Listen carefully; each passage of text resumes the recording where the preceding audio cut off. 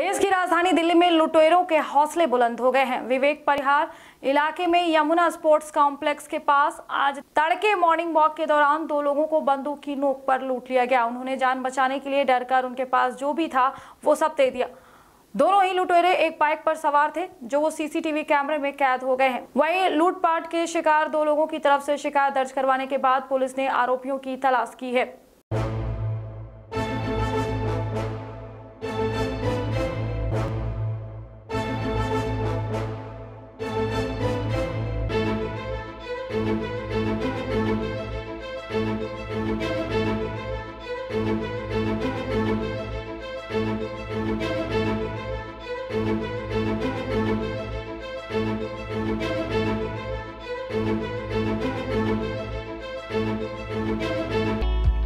खुल गया खुल गया खुल गया। आपके शहर में सर्व सुविधा युक्त स्काई रेस्टोरेंट खुल गया।